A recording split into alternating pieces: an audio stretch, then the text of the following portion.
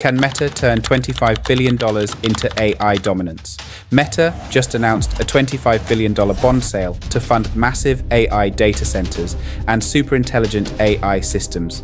This is CEO, Mark Zuckerberg's biggest capital push yet, aiming to secure early dominance in AI compute and model development. But how is the market reacting to this bold AI bet? Meta's AI push could create new revenue streams from AI enhanced products Reels, and metaverse integration. Early investors may gain from long term infrastructure growth, but timing and execution remain key. And what else should investors be watching closely? Track Meta's bond pricing, AI spend disclosures, and early adoption of AI infrastructure. These signals could reveal when the market fully values Meta's AI ambition. So, in the light of the above, what smart money could be doing? Meta, the ticker is Meta.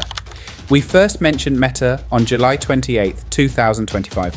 Price, then $504.23. Today, it trades around $666.47, up roughly 32%. Nvidia. The ticker is NVDA.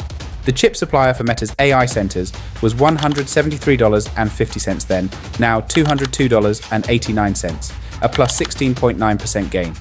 Follow Zaye Capital Markets for no fluff updates on mega AI deals, data center investments, and the tech stocks shaping tomorrow's intelligence economy.